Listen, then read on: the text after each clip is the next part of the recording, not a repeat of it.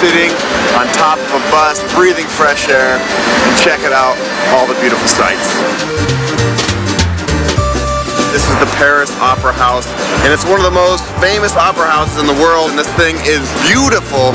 And you can see these golden statues of all the famous composers who have been here. This place really is a must-see.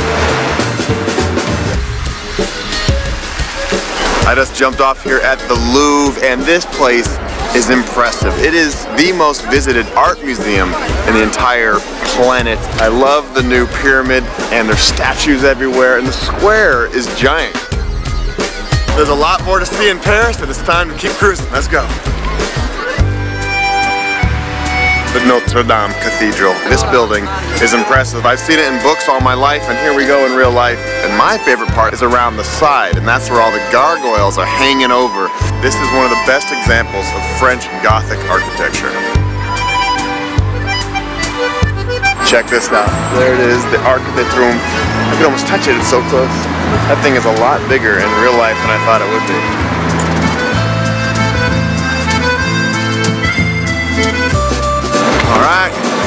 Let's go check out this thing. Eiffel Tower, baby.